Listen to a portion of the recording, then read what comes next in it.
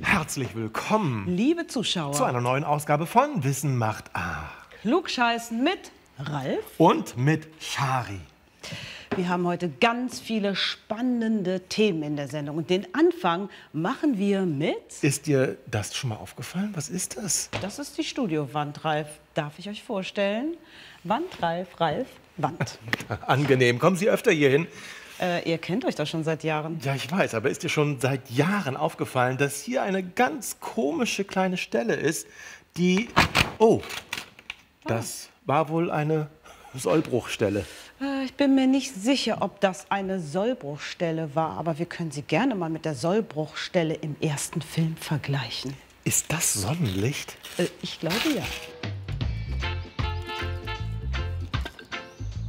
Puh, jetzt ist Mario aber richtig satt. Trotzdem, ein kleiner Nachtisch geht immer. Schokolade zum Beispiel. Nur ein Stück. Ach ja, Marie passt bei Süßigkeiten ja immer auf. Naja, die Schokolade ist doch ein Stück, oder? Also darf Mario die ganze Tafel verschlingen. Aber nicht mit Marie. Guck doch mal, da sind überall solche Kerben. Mit denen kann man einzelne Stücke abbrechen. Und die sind dann immer gleich groß. So eine Kerbe nennt man Sollbruchstelle. Eine Stelle, wo die Schokolade brechen soll. Sowas gibt es immer wieder, zum Beispiel beim Klopapier. Wenn man zwei Blätter auseinanderzieht, reißt das Papier immer an den Löchern. Nochmal testen. Ja, das klappt wirklich jedes Mal. Mit Sollbruchstellen öffnet man auch eine Getränkedose. Da, wo das Loch entsteht, ist die Stelle. Und Packungen zum Aufreißen haben auch welche. Diese Sollbruchstellen sehen sogar aus wie Zähne.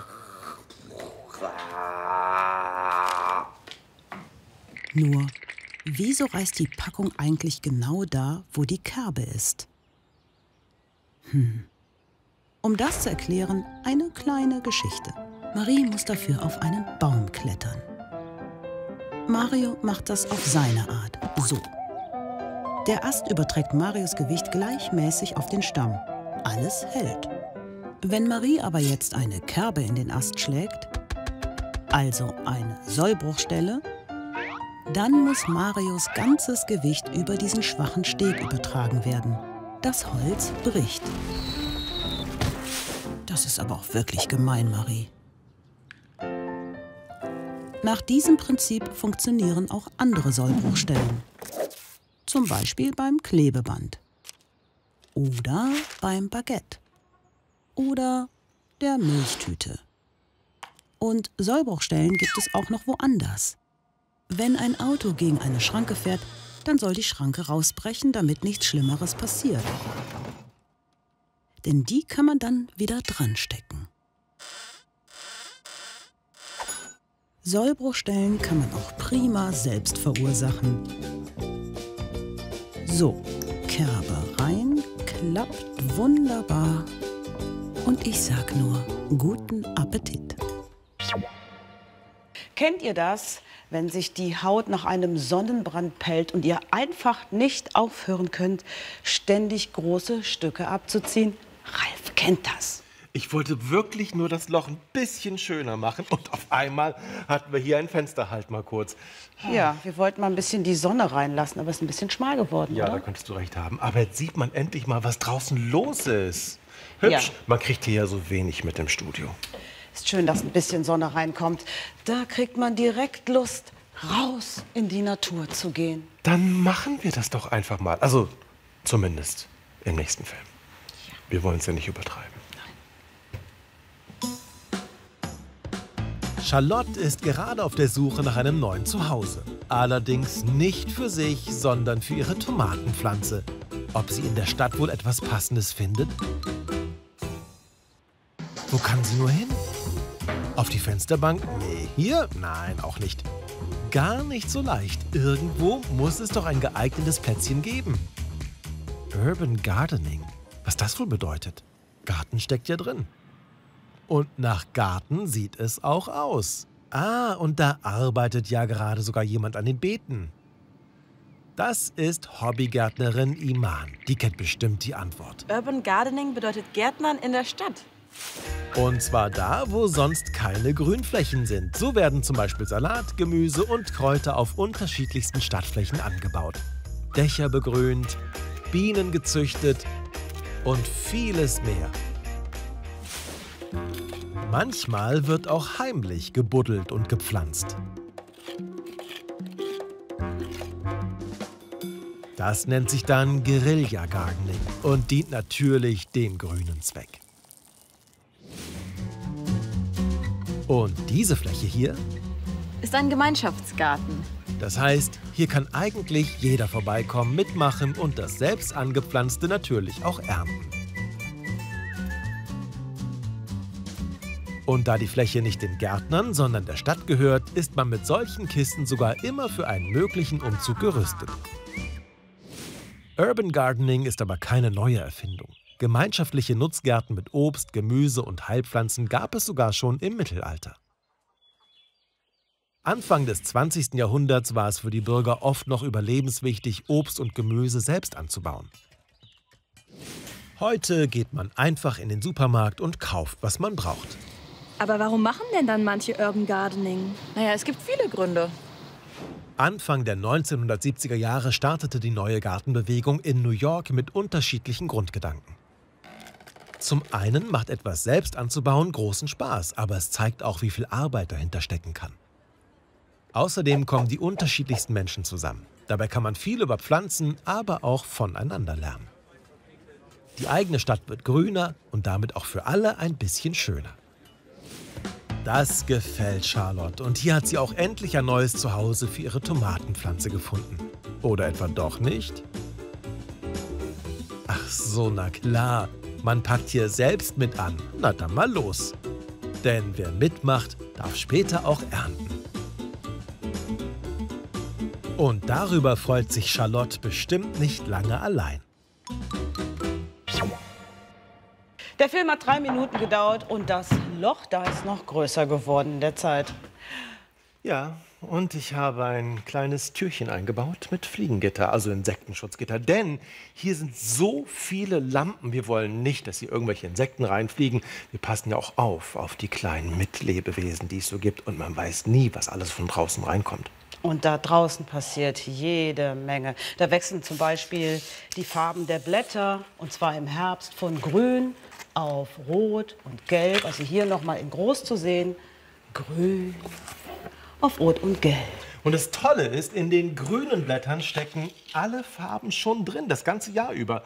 Diese anderen Farben werden nur vom Grün überlagert. Um herauszufinden, welche Farben da so drin stecken, braucht man diesen Versuch. Also zunächst einmal braucht ihr grüne Blätter. Ja, ich empfehle Brennnesselblätter. Die wachsen überall und außerdem geben sie dem Versuch eine leichte Abenteuernote, denn Brennnesseln können echt gefährlich sein. Man kann sich wahnsinnig wehtun, wenn man nicht richtig mit denen umgeht. Dann braucht ihr noch einen Mörser, eine Schale, etwas Sand und ein klein bisschen Brennspiritus, aber vorsichtig sein. Uh, Abenteuer. Ja, auch Brennspiritus kann echt wehtun, wenn man nicht richtig mit dem umgeht. So, ich mache schon mal kurz hier ein bisschen Sand rein und etwas von dem Brennspiritus, um die Blätter schön klein zu machen. Ein So, was jetzt noch fehlt, ist ein Glas und ein Filter. Ich weiß, hier steht auf Abenteuer, aber man muss wissen, wo die Grenze ist. Das wäre ein bisschen Abenteuer zu viel. Also kein Zigarettenfilter, sondern nehmt einfach Kaffeefilter. Den rolle ich jetzt mal zusammen. Könnt ihr ein bisschen zurechtschneiden und ich mache hier schön die Blätter klein.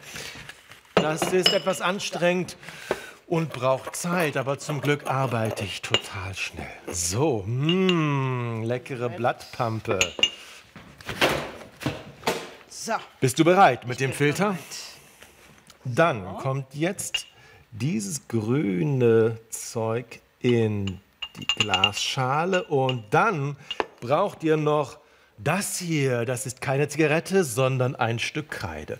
Und dieses Stück Kreide wird jetzt hier reingestellt. Und dann heißt es warten. Ja, ähm, überbrücken wir doch einfach die Wartezeit mit der Grünbrücke. Hervorragende Luan ist auf der Suche nach dem Wald. Doch wo er auch hinschaut, überall ist Straße. Wo geht's denn rein in den Wald? Hm, vielleicht über die Brücke? Mal schauen, was da steht. Grünbrücke? Was ist denn eine Grünbrücke? Grünbrücken sind Brücken, die für Tiere gebaut wurden. Sie führen meist über stark befahrene Straßen. An dieser Stelle gibt es zwei große Naturschutzgebiete, eine Heidelandschaft und ein Waldgebiet.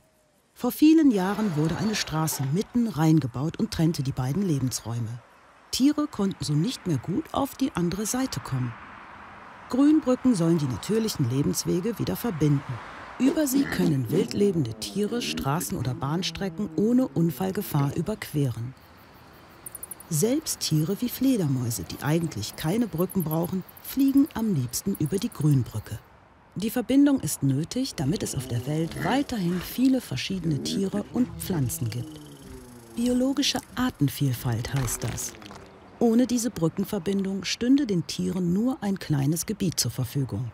Sie könnten sich dann nicht mehr so gut vermehren.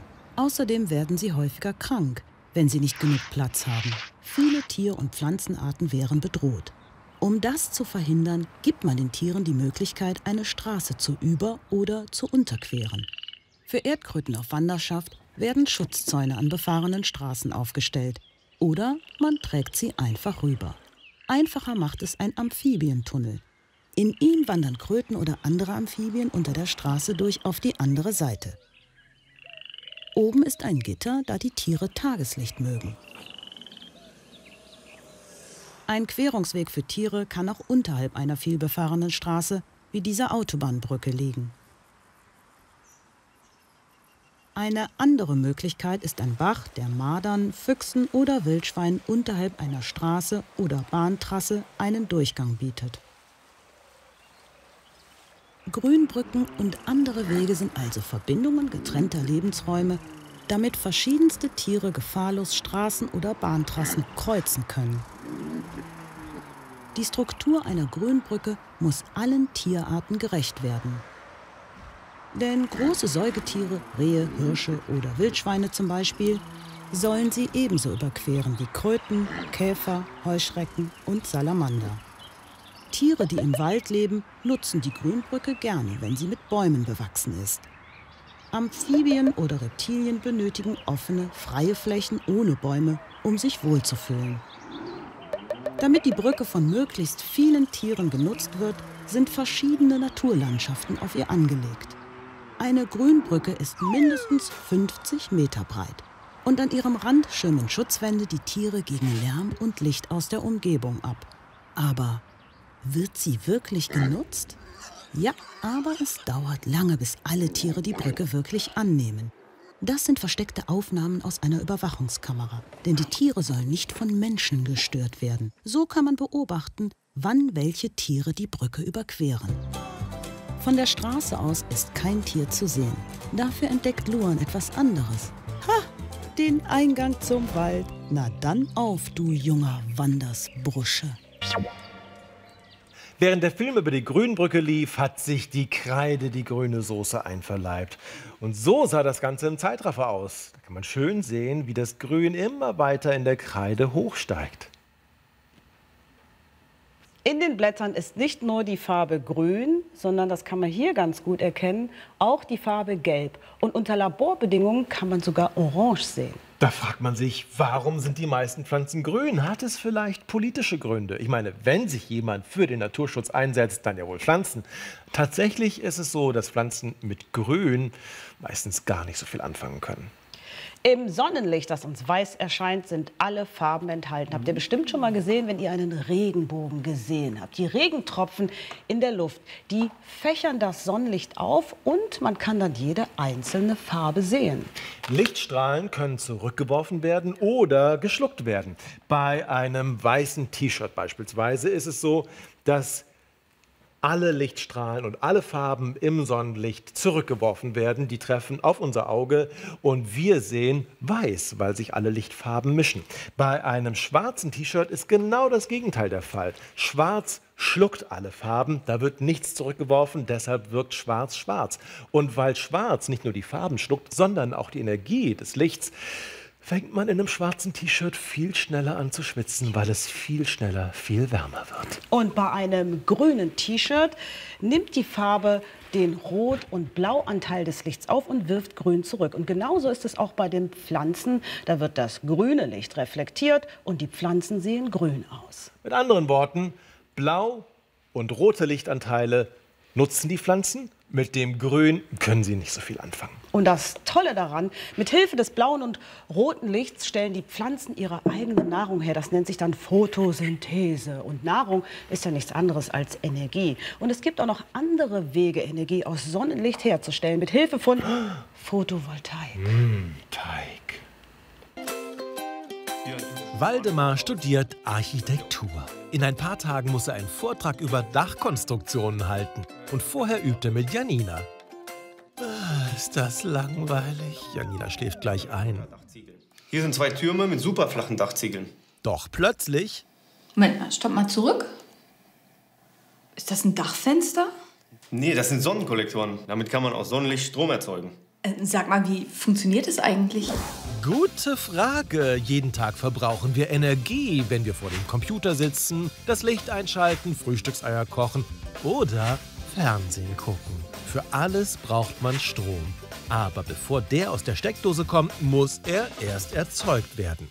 Zum Beispiel von Solarzellen in Sonnenkollektoren. Kollektor kommt vom lateinischen Wort colligere und das heißt auf Deutsch sammeln. Solar wiederum stammt vom lateinischen Wort solarius und bedeutet zur Sonne gehörig. Genau das machen Sonnenkollektoren. Sie sammeln Sonnenlicht und erzeugen daraus Strom. Und das geht so. Wichtig ist erst einmal ein Halbmetall. Eigentlich sieht es so aus und heißt Silizium. Das sind Siliziumplatten. Innen wurden Metalldrähte montiert. Gucken wir uns das mal genauer an. Im Inneren der Solarzelle gibt es zwei Siliziumschichten. Sie liegen aufeinander. Die obere Platte wurde außerdem chemisch behandelt.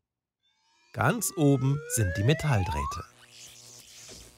Im Silizium sind winzige Teilchen, die man mit bloßem Auge nicht sehen kann. Sie heißen Elektronen. Scheint die Sonne, treffen die Strahlen im Kollektor auf die Solarzellen.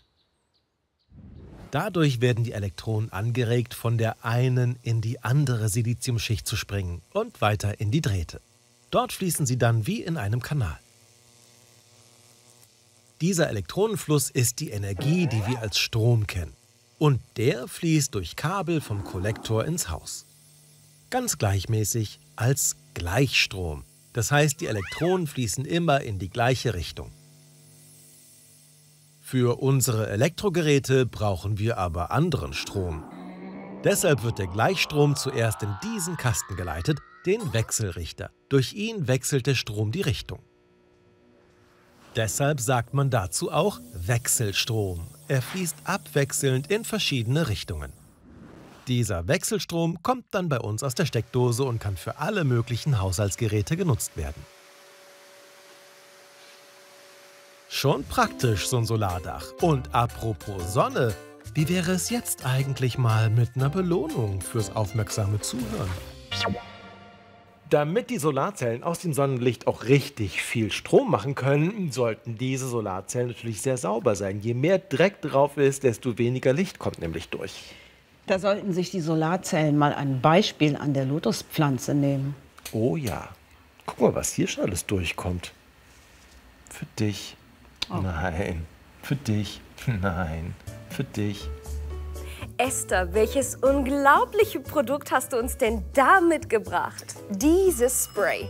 Es entfaltet seine bemerkenswerte Wirkung durch den Lotus-Effekt. Ah, Esther, das ist interessant. Was ist denn der Lotus-Effekt? Ganz einfach, Janina. Ich erkläre es dir. Hast du schon mal Rot- oder Weißkohl gewaschen? Mhm. Ich habe hier ein Kohlblatt und gieße jetzt Wasser darüber. Schau, was passiert. Oh mein Gott, jetzt sehe ich es auch. Ja, es perlt in Tropfen ab. Ich habe jetzt leider keine Lotusblume dabei, aber rein zufälligerweise dieses Staudengewächsblatt. Schau mal, was nun passiert. Ganz erstaunlich.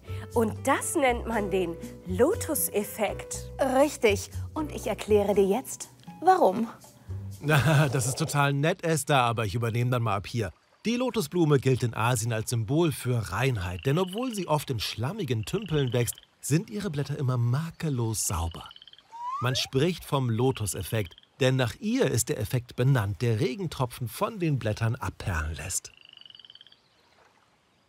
Befindet sich Staub oder Schmutz auf dem Blatt, rollen die Wassertropfen drüber und nehmen den Dreck von der Blattoberfläche mit. Die Pflanze reinigt sich von selbst. Diesen Effekt findet man in der Natur auch bei anderen Pflanzen, zum Beispiel bei Rot- oder Weißkohl oder bei den Blättern der Kapuzinerkresse. Diese Blätter sind super hydrophob. Hydrophob stammt aus dem Griechischen. Hydor heißt Wasser und Phobos bedeutet Furcht, also Furcht vor Wasser oder auch wassermeidend. Und wenn ein Blatt sogar super hydrophob ist, dann ist es super wasserabweisend.